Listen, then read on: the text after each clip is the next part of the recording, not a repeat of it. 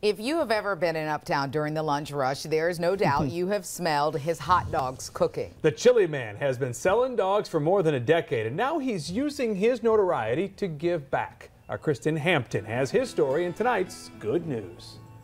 Lots of slaw, if I remember correctly. You can call it the dance of a thousand uh, dogs. Chili Man's Choice and a Cube Rock. Victor Warani goes by the Chili Man. Oh my gosh, he is crazy, but his dogs are sensational. Vic is well known in Uptown not just for his mouth-watering hot dogs, I'm making it happen, baby. also for his mouth. He is lunch with a show.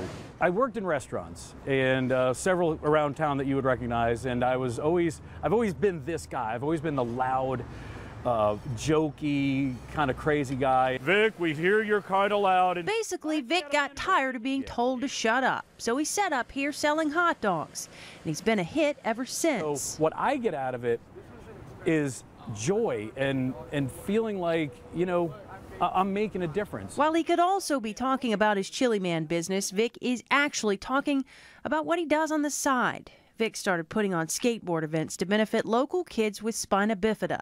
He's helped raise thousands of dollars for treatments. It's my payback to the universe. You know, I've been incredibly lucky, man. His hot dog schedule allows him free time to plan these events to help people.